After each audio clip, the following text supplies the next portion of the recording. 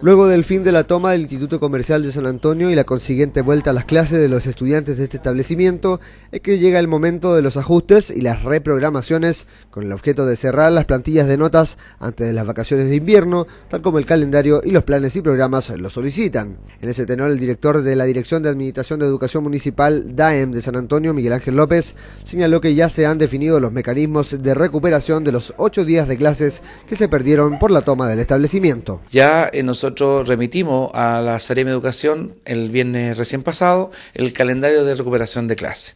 Nosotros en una reunión que tuvimos con los muchachos de la toma, llegamos a un acuerdo de que las clases se iban a recuperar en horario normal. No íbamos a ocupar ni día sábado ni vacaciones de invierno. El director del DAEM, Miguel Ángel López, señaló que este sistema ya se acordó y que hay suficiente tiempo para que tanto los alumnos de primero a tercero medio del establecimiento recuperen esta semana y media, como los de cuarto medio que egresan a mediados de noviembre para que extiendan así sus clases un poco antes de rendir la PSU. Los cuartos medios van a, como salen, terminan su periodo escolar el 18 de noviembre, tenemos de más los días en noviembre para recuperar los cuartos medios.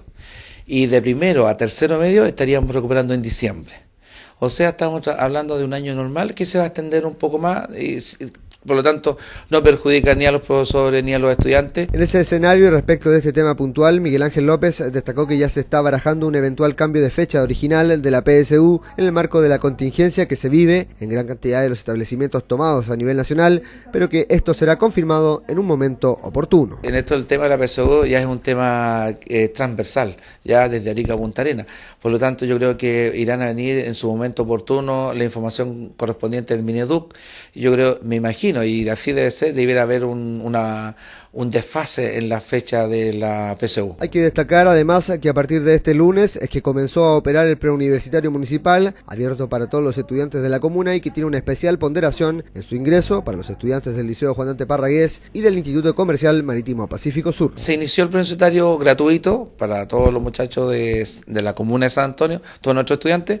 Eh, llegaron más de 100 estudiantes ayer eh, algunos que estaban medio desinformados, como el comercial estaba en toma, pero hoy día yo creo que vamos a tener ya en forma más ordenada, hay tres cursos funcionando, ya están los profesores. Finalmente, el director del DAEM destacó que el compromiso y buen comportamiento de los alumnos que acudan al preuniversitario municipal, especialmente los del Liceo Juan Dante Parragués y del Instituto Comercial, es el que pavimentará el camino de los estudiantes de estos establecimientos y de toda la comuna que tengan la intención de continuar estudios superiores en los años venideros, ya que de esta experiencia depende la continuación de este proyecto a través del tiempo.